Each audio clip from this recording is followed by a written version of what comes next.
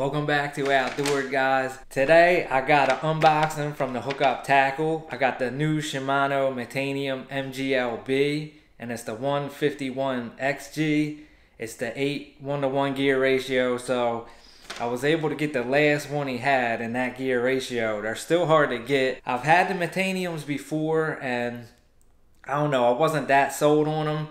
It, it felt a little kind of, not cheap, but it felt like, I can't really explain it. It didn't feel like solid to me. So from what I'm hearing, the new Metanium Bs for 2020, they're a lot more solid. But I got um, some NRXs from Ben over at the Hookup Tackle. You can see them right next to me over here. Um, I've been waiting to show you guys them until I got this Metanium because I put my Curado on there and I just didn't like the way it balanced. So I'm going to throw the Metanium on there and hopefully it feels good. But honestly, like it doesn't even feel like I got a reel in this package. That's how light it is. Like it don't even feel like a reel should be in this box. So um, excited to show you all that. I'm also going to show and throw in my Shimano Poison Adrena. I got hanging there with me. This is probably to be a long one. I got four rods and a reel to unbox. Definitely go and check out the Hookup Tackle. I'll link the website down in the description below.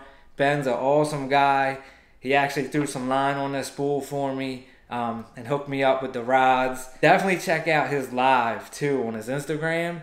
He actually puts baits in the tanks. Like he'll cover a certain topic depending what day it is and he'll throw the baits in the tank that he has in his shop and you can see the action of all the baits and really get to see I mean buying a bait's one thing but actually seeing it in the water will definitely help you learn how to fish it. Alright, um we're going to start with the reel like I said. If you haven't subscribed though, make sure you smash that subscribe button down. Drop a comment down below. Let me know what types of videos you guys want to see. Also, let me know if you got your hands on a new Metanium for 2020 yet and what your thoughts are. Give this video a like if you liked it. Don't forget to hit that notification bell too, guys, so you get all my new content first. Um, all right, let's go ahead and get into this. Hopefully Ben didn't send me no Corona from Arizona. Uh, Nah, I think we're good. If he did, I'm sending this thing back. Here we go.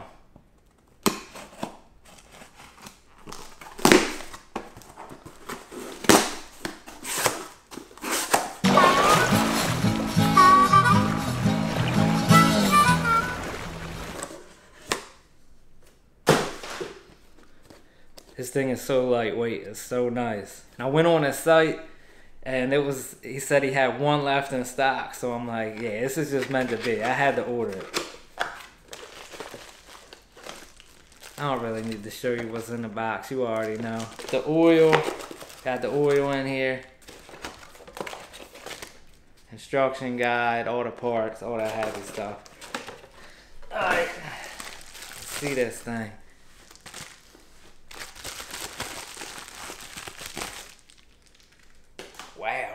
It's tiny, guys. Like it is. That's crazy. It's really light. Um, I can tell you more once I get out and fish it. Let me give you some shots of it right there. Like I said, I got 16 pound Sunline fluorocarbon sniper spooled up on this.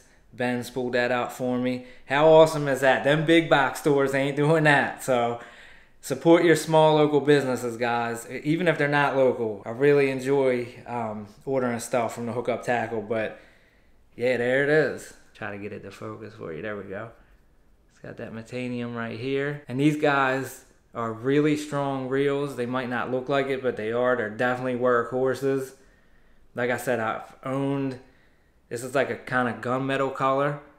It's like a grayish silver kind of color, but um, I've owned these. I owned the last Metaniums they put out, and um, I had two of them. I wound up selling them, but anyway, I want to put this on the NRX. I think this is going to be perfect for that. I'm probably going to wind up getting a couple more, and then the Shimano Poison Adrena. I have the Curado DC on that one, and it's it feels great. It's really hard to find a rod where you can put a couple different reels on it and it still balances. So the Poison Adrenas, I haven't fished it yet, but as far as balance and putting a reel on it. It feels great. Um, all right, let's put this on an NRX.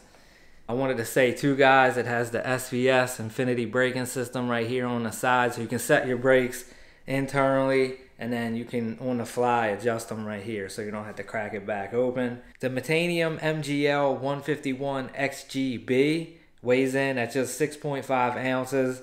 The higher gear ratios weigh a little more. It has 11 pounds of drag. It's got 11 ball bearings total. 34 inches retrieve per crank it's a 150 size reel, so you're not to get as much line as you would get on like say your Curado. The line capacity, 10 pound, you get 120 yards, and 12 pound, you get 110 yards. Power Pro, you're to get 150 yards of 20 pound, 135 yards of 30 pound, and 105 yards of 40 pound. All right, let's go over some of its features real quick. It has the magnesium core solid body brass micro module gearing, silent tune, the MG3 spool, the CI4 Plus Star drag, the SARB ball bearing system, the X-Ship, and the SVS Infinity braking system. Alright, the G Loomis NRX, I got the 854, the 894, and the 873.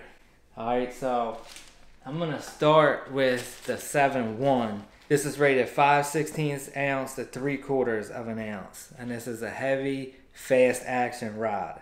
854C jig and worm rod. You get these rod sleeves with the NRX.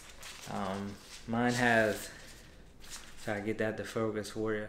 There you go. Mine has the G Loomis uh, letter logo, not the fish one, but the, the newer models, like they put them on. All these NRXs have the split grip cork handles and recoil guides. And this is a seven foot one, guys, okay? So I've had six eights before and and a six six, but I feel like the problem with that is when you go to a shorter rod, you lose the tip in it. Okay, so I, I, I'm definitely leaning towards longer rods these days. They just feel better to me, and I'm a shorter guy. I'm only like five six, and I still like a longer ride. I know, you know, you read a lot of stuff and people are like, well, if you're shorter, you probably like a shorter ride, but I don't really like a seven foot ride. I don't know. I guess that's just me, but this is a seven one, so I figured I can use this, you know, when I'm bank fishing ponds because I do a lot of shore fishing and stuff. So, all right, let's put the reel on. Got the cork right here on the reel seat. All right, that definitely I got the Metanium on uh, the NRX now, and the guys, it's definitely, I definitely like the balance of it a lot more than when I had the Curado on it. You kind of feel the weight in these right here. It's kind of a little hard to explain um, right at the reel seat, but that definitely helps. I'm not really going to get much lighter than this. So I'm going to fish this and see if I'm to get a couple more of these, but I'm to have to stay with a lighter reel for these NRXs. Um, it just makes sense too, but I feel like this will probably feel the same on my other ones, but let me show you the other NRXs that I got, and then we'll go to the Poison Adrena. Alright, next up is the G Loomis NRX 873. Now this is a medium heavy fast action rod. This isn't a heavy like my other two. So this has a little wider, I feel like, of a weight rating. It's quarter ounce to three quarters of an ounce. This one has more par parabolic of a bend. The other 854 and 894 I feel like are the most versatile in the NRX lineup. But I also heard this rod right here, which is actually a Carolina rig rod, is very versatile as well. So let's uh I'll take this off. Show you guys this one. And this is a 7.3. So I bought all three of these rods for jigs and Texas rigs. So that's what I'm doing with these rods. I have really had a hard time, and I know I know these rod companies do this on purpose of picking just one to try to cover all my bases. But if I went to the 893, I just felt like that was too light for me because you gotta think about it. Uh, the most common jig weights are like 3 eighths and half ounce. So, in my opinion, but when you put a you know when you put a 3 eighths ounce jig on it's not just 3 eighths of an ounce you got to add that weight of your trailer depending on how fat how thick it is or how long it is. So you don't want to overload the rod. So I wanted to have that cushion there on all three of these rods so I didn't run into that issue. Okay, because I hate overloading a rod and, and whatever I'm fishing being too heavy for the rod.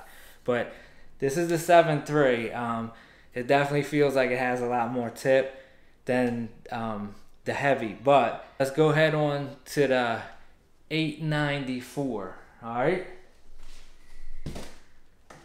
Alright guys, here's the G Loomis NRX 894C jig and worm rod. And this is a 7.5 and Ben really helped me out with selecting these rods. He helped me more than anybody else really has. He sent me videos of the actions on the different rods in this lineup to help me narrow it down. When you're spending a lot of money on high-end stuff, you definitely want to get it right, especially when you can't walk into somewhere local and put your hands on a rod. Um, I didn't plan on getting three of these. I only wanted one, but I heard, you know, just just from doing my homework and stuff, there's a lot of good things about all these rods. So I felt like this would cover everything for me. Let's go ahead and take a look at this one. Okay.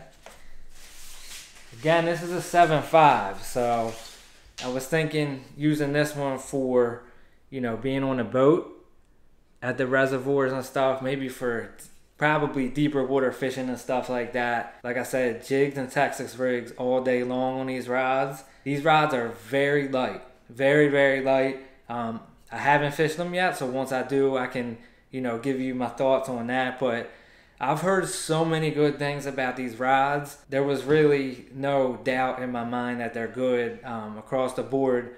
You heard that, you know, a lot of positive things about these NRX rods. Okay, and I had I've had G Loomis in the past, and I sold them, and I am a G Loomis fan. Um, there's something about these rods, and I want to.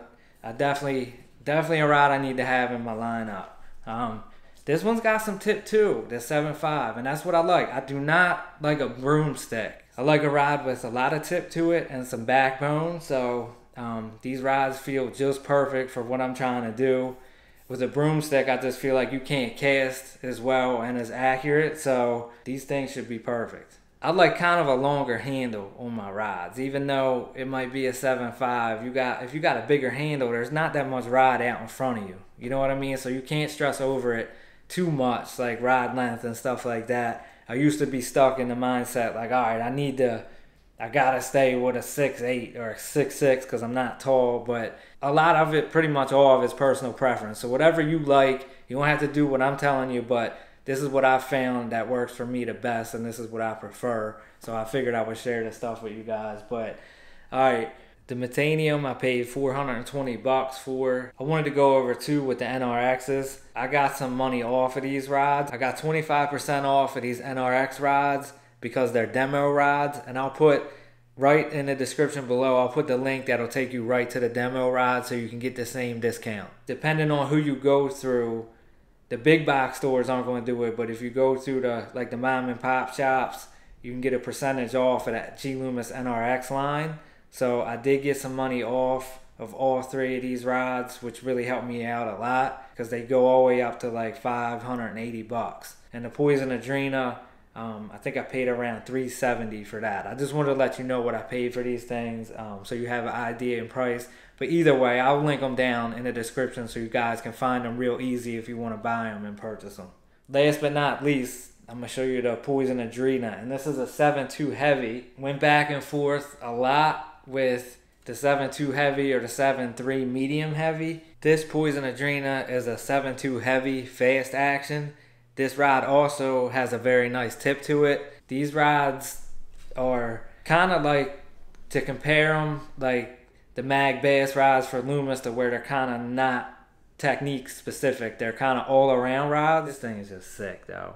I really can't wait to fish this. The handle is very smooth and comfortable, but it still feels like you got a good grip on it, and it also fits my hand really well. I got this rod as well. Check out the handle on it for um, jigs and worms, okay, and Texas rigs. But it's just this rod is so light in the hand, it's insane. This rod is made by Shimano and Jackall. They paired up and see if I can get that in there without hitting anything. they uh, paired up and made a rod, and this thing is just sick. They actually did away with this line, came back out with it, and now they're adding rods to this lineup. It's, it's definitely a popular um, lineup. Let me give you the ratings on this. This is this rod is rated for seven sixteenths all the way up to one and a half ounce. Okay, so you got a wide range of stuff you can throw with this rod. I like rods that cover a wide range. It, I think it opens the door for you to be able to use it for more stuff. So that's why I like this rod and this lineup. Like I said before, I got the Curado DC on here, which is a little bit heavier of a reel, but it's not considered heavy. It's really not. Um, and it balances just fine on here, at least for me anyway. So um, if you're looking to go that route, that reel works fine, or regular Curado if you don't really like the DC. But yeah, so that's basically it. I usually like to stay around the $200 price point with my gear, and that's across the board. Some of my DC reels, like my Curado DCs and stuff, are more expensive, closer to the 300 mark. But I feel like somewhere in between the two and 300, you get the best bang for your buck. Once you go over that, yeah, you're getting really nice stuff, but you're gonna pay for it. So that's you know, I I go on the high end sometimes. I don't need all high end stuff. I really don't. But is it nice to have? Absolutely. I wanted to go over this real quick, especially if you're new into bass fishing. You don't need to go and spend $400 for a rod. For bottom contact baits, for like what I got these NRXs for, and the Poison Adrena for like jigs where you need to feel the bite, uh, worms, Texas rig, any soft plastic really, I feel like it's necessary. That's my opinion. There's nothing wrong with getting higher end stuff if you got the money, but once you get sucked into it, it just gets worse. So try to stay away from it if you can. I just want to let you know, like it's it's totally your call what you want to fish with. There's no right and wrong either. So I just feel like you should do it for the right reasons. I don't really care what people think of the gear I have. I did it because it's something that I wanted to do. Don't feel like you have to do it. Does it make a difference? Yeah, it does, especially. But you can cut corners on like top water rods and stuff like that where you don't need to feel the bite. You just, you know, it's visual. You're seeing the bite, so you don't need that sensitivity there. But for me, for bottom contact baits, it's worth it. Thanks for tuning in. I hope this uh, helps you out or you learned something by watching this. Check out the hookup tackle. I've learned a ton just by watching Ben putting baits in the tank, baits I've never even seen, or he did crankbaits the other day and like just seeing how they different ones fall in the water column and you know some of them would land kind of nose down like a fish eating off the bottom. There's a lot of baits out there guys but there's reasons for it. A lot of them do a lot of different stuff. So um, i always like to learn and check the hookup tackle out on instagram live.